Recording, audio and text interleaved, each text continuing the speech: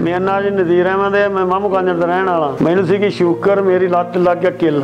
Sugar ਵੱਧਦੀ ਵੱਧ ਗਈ, ਮੇਰੀ ਲੱਤ ਖਰਾਬ ਹੋ ਗਈ। ਲੱਤ ਖਰਾਬ ਹੋਣੇ ਜੇ ਡਾਕਟਰਾਂ ਕੋਲ ਆਇਆ, ਉਹਨਾਂ ਕਿਹਾ ਵੀ ਲੱਤ ਕੱਟਣੀ ਪੈਣੀ ਹੈ।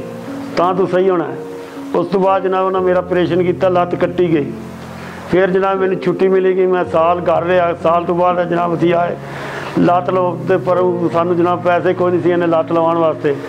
ਇੱਕ ਅਦਾਰਾ ਸੀਗਾ ਜਨਾਬ ਜੀ ਟੀ8 ਦਾ ਅਦਾਰਾ ਦੱਸਿਆ, ਉਹਨਾਂ ਕੋਲ ਆਏ, ਉਹਨਾਂ ਨੇ ਸਾਡੀ ਲੱਤ ਲਵਾਈ। ਲੱਤ ਲਵਾ ਕੇ ਉਹਨਾਂ ਨੇ ਤੋਰਿਆ, ਫੇਰਿਆ। ਬਹੁਤ ਬਹੁਤ ਸ਼ੁਕਰੀਆ। ਰੱਬ ਤੁਹਾਨੂੰ ਹੋਰ ਜ਼ਿਆਦਾ ਦੇਵੇ।